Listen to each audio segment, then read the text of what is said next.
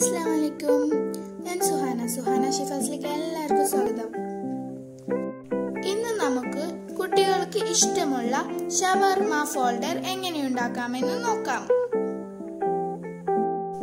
ഒരു ബൗളിൽ ഇളം ചൂടുള്ള പാലെടുത്ത് അതിലേക്ക് ഒരു ടീസ്പൂൺ പഞ്ചസാര ഉപ്പ് ഈസ്റ്റ് എന്നിവ ചേർത്ത് ഇളക്കി കൊടുക്കുക.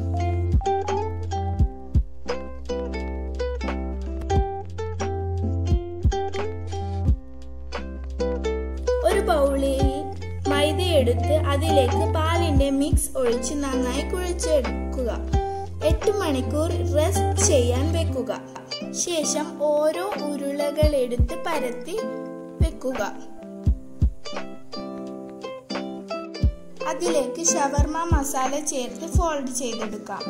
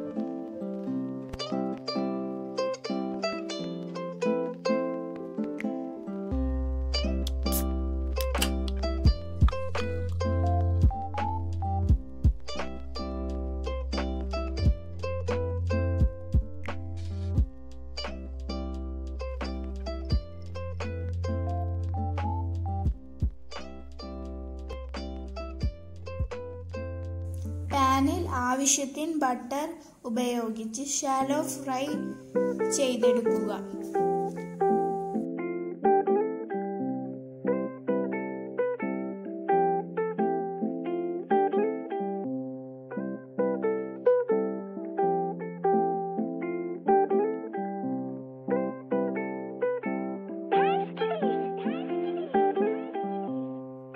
അപ്പൊ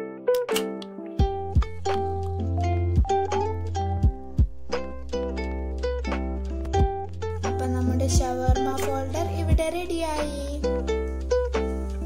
നിങ്ങൾക്ക് എല്ലാവർക്കും ഇത് ഇഷ്ടപ്പെട്ടെങ്കിൽ നിങ്ങളൊന്ന് ട്രൈ ചെയ്ത് നോക്കണേ.